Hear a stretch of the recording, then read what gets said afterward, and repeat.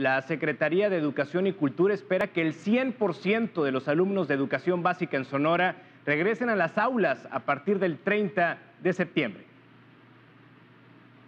Para el 30 de septiembre, la Secretaría de Educación y Cultura espera que el 100% de los niños de educación básica regresen a las aulas. Estamos a un paso de conseguirlo a un paso de conseguirlo. El día 30 de septiembre va a ser, va a ser definitivo porque ahorita estamos en un periodo de inscripción todavía, de modo que los padres, las madres están llegando a las escuelas, se están inscribiendo y después del 30 vamos a hacer un corte para poder saber de manera y a ciencia cierta si logramos la recuperación del 100% que los niños vuelvan a la escuela. Al momento, 13 escuelas se encuentran en proceso de reparación, lo que ha detenido el ingreso total de la matrícula en esta etapa escolar, apuntó el subsecretario de Educación Básica en Sonora. A dos semanas de haber iniciado el ciclo escolar, Ricardo Aragón Pérez dijo que se trabaja en subsanar las necesidades para cumplir las metas principalmente abatir el rezago educativo tras dos años de pandemia. Y ahora las escuelas con el regreso a clase pues están en una campaña muy intensa de reposición de la disciplina,